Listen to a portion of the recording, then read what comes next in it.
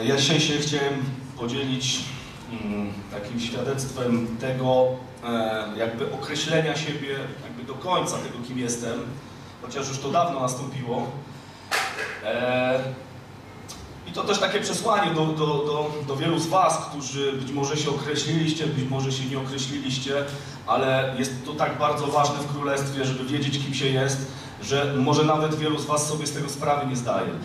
Yy, Wiecie, kiedy ja nawróciłem się w 2014 roku w więzieniu, wtedy zrodziło się we mnie coś takiego, że ja bardzo chciałem pokochać Jezusa, bo wiecie, takiej pustej paplaniny dzisiaj w Polsce, w ogóle w tym polskim chrześcijaństwie, że się kocha Jezusa, to jest od groma. Tego, to, te, tego jest tak dużo, że się aż żygać chce.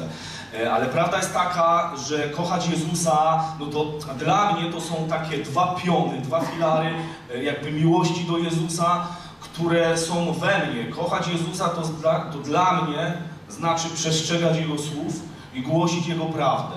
To są takie dla mnie dwa najważniejsze piony. Przestrzegać Jego słów i głosić Jego prawdę, bo On powiedział wyraźnie, kto mnie miłuje, słów moich przestrzega. Kto mnie nie miłuje, słów moich nie przestrzega, koniec i kropka. I tu nie ma nic więcej. E, I prawda jest taka, że ja e, bardzo właśnie, kiedy się nawróciłem, ja chciałem go pokochać. Ja to chciałem czuć w sercu, wiecie. To tak jak się żonę kocha, to się wie, co się czuje. Tak samo ja chciałem kochać Jezusa, ale we mnie tego nie było. Ja uznałem, że On jest moim Panem i Zbawicielem. Wiedziałem o tym. Amen. Cieszyłem się, że idę do nieba. Ale ja potrzebowałem tej takiej miłości głębokiej do Niego. Tej miłości, którą się prawdziwie czuję. I ja wam powiem, jakie były... Mo- w skrócie wam powiem, jakie były te moje kroki do poznania tej miłości, y, co, co też z tego wyrosło, bo to też jest ważne. Wiecie, ja zanim tak prawdziwie pokochałem Jezusa, to ja najpierw musiałem się zakochać w Jego Słowie. E, Ale żeby się zakochać, wiecie, ja czytałem Biblię, tak jak każdy czyta Biblię, wiecie, narodziłem się na nowo, pod celą czytałem tą Biblię, dotykały mnie niektóre rzeczy, bardziej, niektóre mniej, niektóre bardziej rozumiałem, niektóre mniej rozumiałem, ale ja potrzebowałem, wiecie, nauki, prawdziwej nauki apostolsko-proroczej ludzi, którzy będą mi prezentować tego Chrystusa. Ja wiedziałem, że ja tego potrzebuję. I wiecie, minęło kilka lat, kiedy ja w 2018 tutaj się w kościele znalazłem, ale minęło kilka lat, zanim ja się doczołgałem w ogóle do zdrowej nauki apostolsko-proroczej i do ludzi, którzy prezentują Chrystusa. Wiecie, kiedy się właśnie tutaj znalazłem w kościele, ja wtedy zacząłem kochać Jezusa, ale najpierw zaprezentowali mi go ludzie. Najpierw zakochałem się właśnie w tej nauce, która jest tutaj w kościele. Zdrowa nauka, wiecie, ta zdrowa nauka, te, ta nauka, której brakuje w Polsce. Nie ma tej nauki w Polsce tak, w takim wymiarze, żeby móc się w niej zakochać, stosować ją.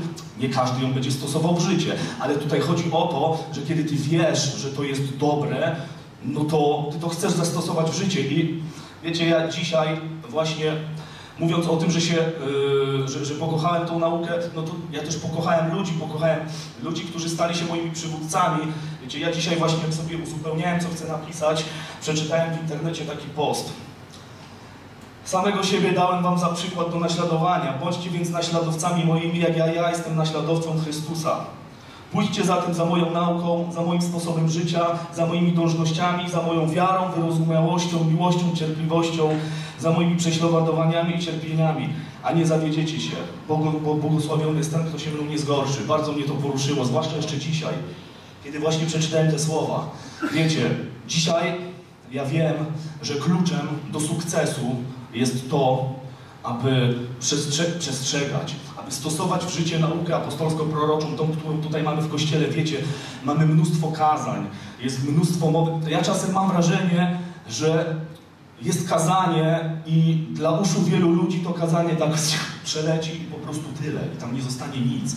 A to jest nauka, która powinna być przez Was w ogóle nie wiem jak to nazwać, w ogóle aplikowana do serca, w ogóle po, to, wiecie, mnie to boli, bo ja widzę, ja wiem ile ja wyciągam, wiem ile ja wyciągnąłem i wiem ile jeszcze ja wyciągnę z tego, co ja tutaj dostaję, a wiem i też widzę, ilu ludzi nic sobie z tej nauki nie robi.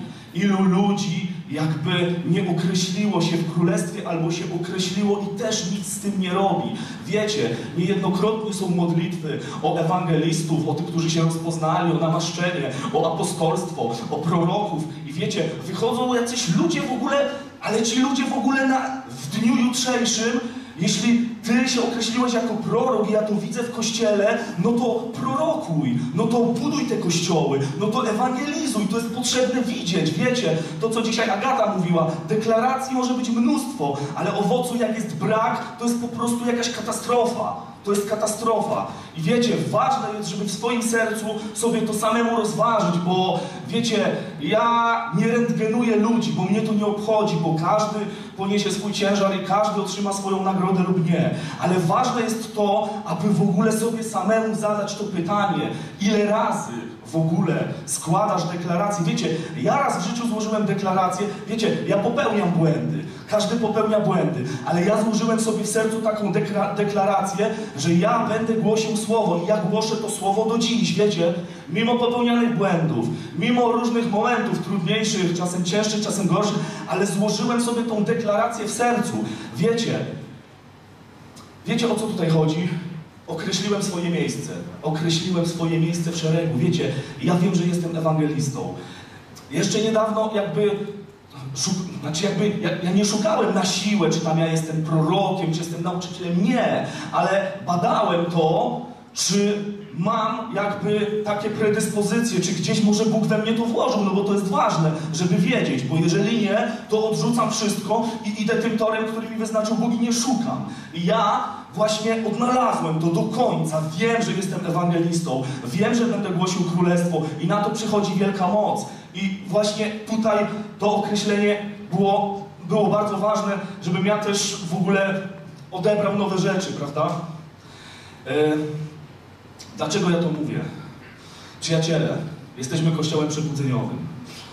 E, jakby jednym z takich, właśnie ta nauka apostolsko-prorocza i ewangelizacja, to są jakby takie dwa główne, jakby to nazwać, nurty, piony, prawda? Ale przyjaciele, jest nas tutaj dzisiaj, załóżmy, setka w kościele, czy 80 osób, a wiecie, przyszło lato, jest ciepło, można sobie ustalić czas, jest piątek, jest rotunda, godzina 18, wiecie, a tam jest pod rotundą 8 osób, tych, które przychodzą od początku, plus dwie nowe. Wiecie, no to tutaj sobie można zadać pytanie w ogóle. Można sobie samemu zadać pytanie w ogóle, co ty w życiu chcesz robić.